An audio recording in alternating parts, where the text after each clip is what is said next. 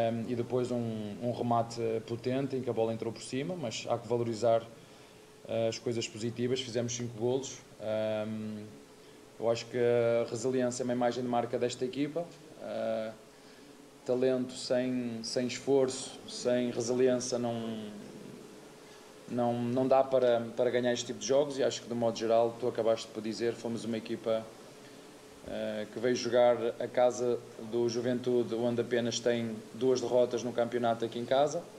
E onde ganhou, por exemplo, equipas como o Flamengo, Corinthians, Botafogo, uh, Fluminense, portanto sabíamos das dificuldades e dizer-vos também, na minha opinião, foi um grande jogo, acima de tudo, por uma, na minha opinião, também por uma grande razão.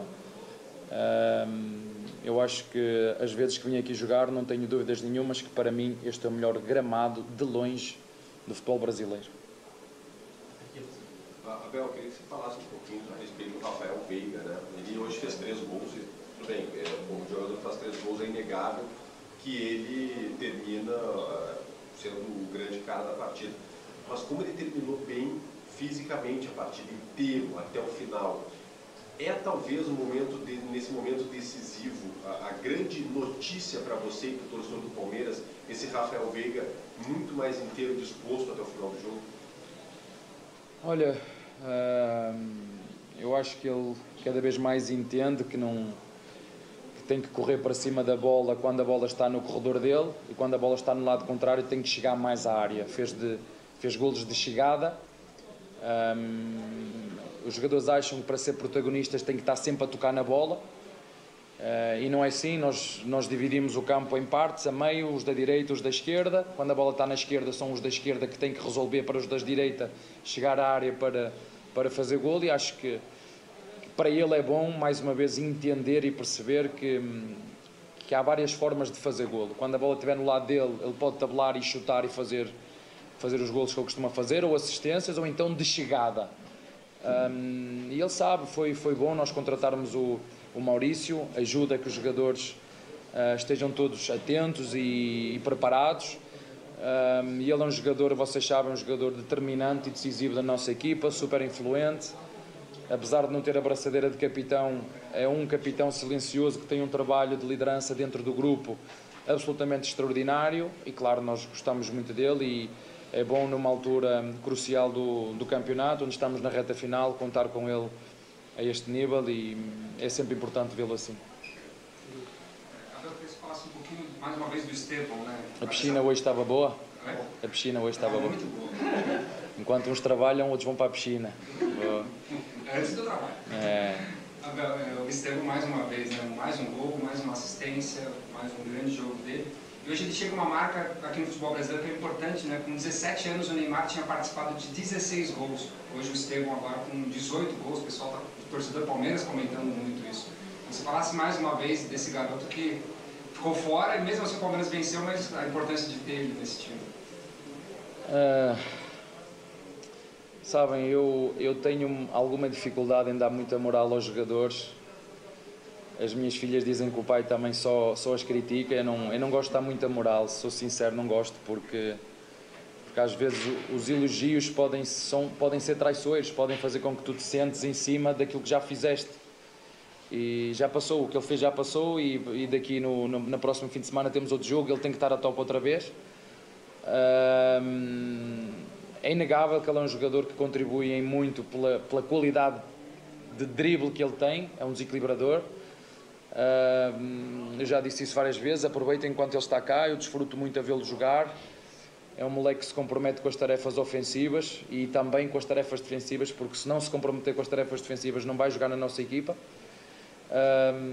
Mas sim, é nós sabemos disso, no momento também crucial do, da, da, época em jogos teve fora, porque teve duas lesões que o tirou fora, uh, em momentos difíceis, em jogos decisivos, e nós sabemos que hum, este é um jogador que, que, nos pode, como vocês viram hoje, que nos pode acrescentar hum, a sua qualidade, mas eu acho que acima de tudo fica bem evidente o espírito da equipa, o espírito coletivo que esta equipa tem, onde todos se esforçam um, para conseguir um melhor resultado e, e, dar os parabéns a ele, mas não, não posso esquecer todos os outros. O Naves entrou muito bem, o Fabinho entrou muito bem, Uh, o, próprio, o próprio Zé entrou muito bem. Um, o Vanderlat também, certeza que o Rony e o Dudu ficaram chateados comigo, mas em determinado, em determinado momento do jogo era preciso um, sermos mais equilibrados defensivamente e, na minha opinião, uh, nos últimos 10, 15 minutos não estava um jogo para as características, por exemplo, do, do Dudu. Uh, mas pronto, o importante é que eles trabalham todos e sabem que neste momento e nesta fase final todos eles são, são precisos. Um, e é sempre bom vir aqui no Juventude, campo difícil, como te disse, um jogo difícil e, e somar mais três pontos, que era o mais importante. Abel, queria te perguntar a respeito do que foi o jogo de hoje, né? um, certo descontrole em vários momentos, né? um jogo com oito gols, várias reviravoltas. É, como é que funciona para ti trabalhar com um grupo de jogadores para entender que os jogos eles têm esse aspecto de descontrole e que a reta final do Campeonato Brasileiro também traz esse componente e que o Palmeiras ele vai aparecer uma janela ou outra para tentar justamente alcançar o Botafogo como foi hoje, como administrar essa questão psicológica dos jogadores? Olha, nós temos que continuar a fazer o nosso trabalho, uh, jogar os nossos jogos, um jogo de cada vez, não adianta estar muito a pensar no que vai acontecer no fim. Hum, sabemos o que queremos, sabemos para aquilo que lutamos, hum, mas isso só vamos saber daqui a no dia 8 uh, de dezembro ou dia 9, no final. Não, adianta estarmos a pensar muito nisso agora. É um jogo de cada vez, preparar-nos, dar o nosso melhor, como foi o jogo de hoje. Uh, depende do ponto de vista de quem goste. Uh, ter um jogo com oito golos, pode ser, pode, podes achar que é um jogo espetacular. Pode ser também pensar que para haver oito, oito golos é porque em determinados momentos houve desatenções e houve desorganização, mas a verdade é que para haver golos tem que haver erros. E eu acho que a equipa que cometeu, menos erros foi, foi o Palmeiras, e como te disse, em casa de um, de um adversário que é fortíssimo a jogar em casa, ganhou já grandes equipas aqui em casa. Eu sabia e sei, e os jogadores sabem que somos os favoritos, mas as outras equipas também vieram aqui, eram as favoritas e, e perderam, e nós, uh, com a qualidade de todos, com o esforço de todos, com a organização de todos, com a ambição de todos, com a humildade que era preciso ter aqui hoje para ganhar a esta, a Juventude, que na minha opinião joga, joga bem, é uma equipa que joga bem, bem treinada, joga bem este, este, este Juventude.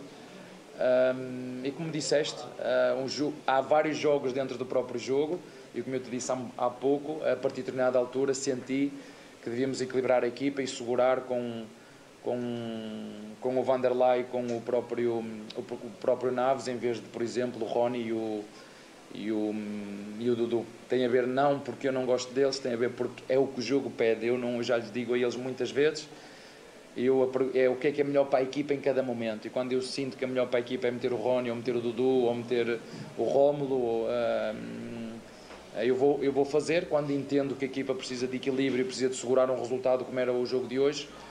Essa é a minha função do treinador, pensar no jogo, não é pensar nos jogadores individualmente, é pensar naquilo que é melhor para o Palmeiras e acho que hum, até a equipe técnica hoje esteve bem. Ferreira, então, técnico do Palmeiras, vitória por 5 a 1 sobre o Juventude. Agora a diferença. 5 a 3 5 a 3 A diferença é de um ponto. Eu já estou adiantando aqui. 5 a 3 sobre o Juventude, a diferença agora para o Botafogo líder do campeonato é de apenas um ponto. E me lembra.